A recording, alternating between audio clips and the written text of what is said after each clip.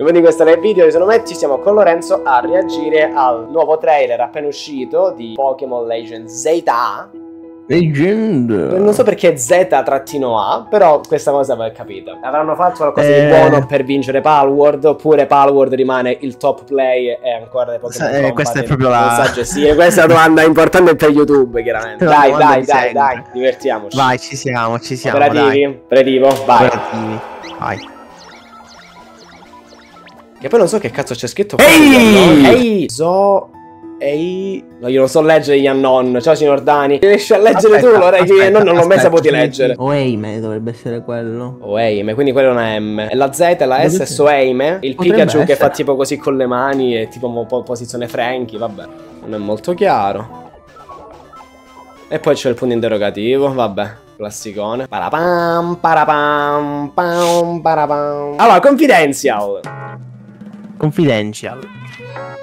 Allora, cosa... Urban Development Plan City. A vision of beautiful coexistence between people and Pokémon.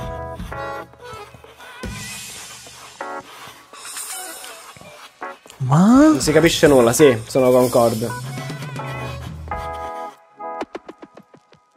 Perché vedi sia il passato che il futuro, qua non... Solo che non è...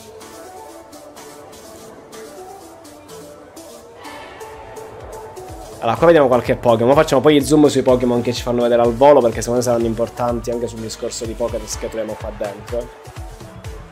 Probabile. Già che vedo Dragonite sono felice, Gyarados sono felice. Eh, aspetta zio, non hai capito, aspetta.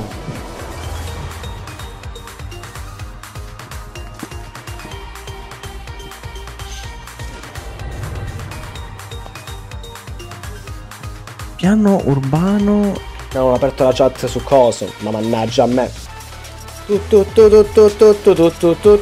Ciao signor Dennis, ciao signor Sabo Nibiru.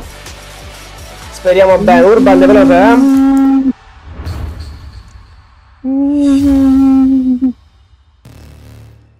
A, Z.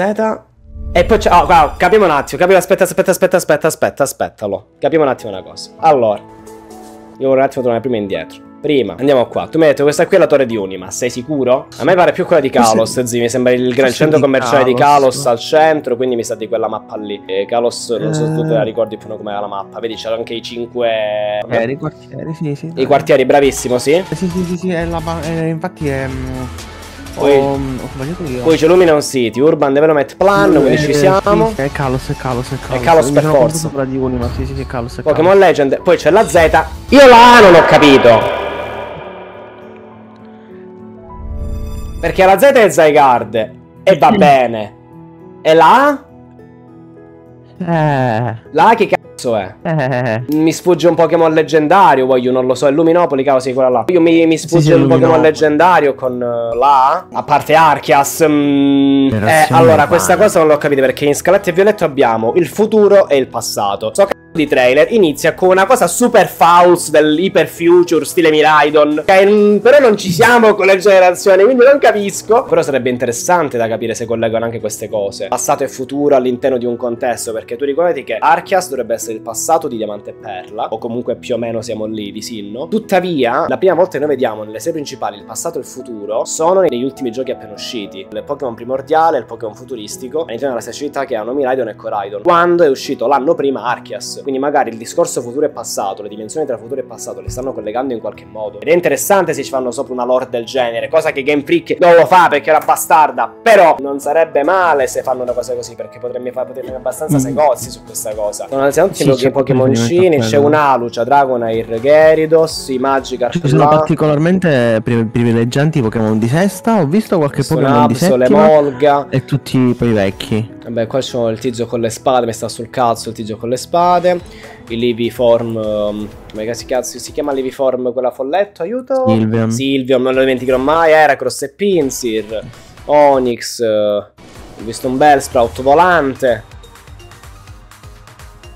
Volevo vedere se hanno già spogliato qualche forma particolare.